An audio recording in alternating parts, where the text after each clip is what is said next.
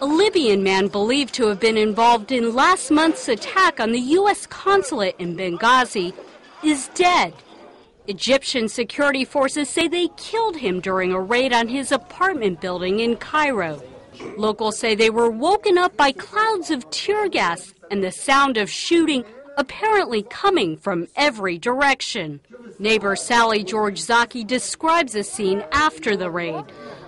I saw with my own eyes the police taking away rifles, rockets, and so many different kinds of weapons that I haven't ever seen before, not even in foreign films.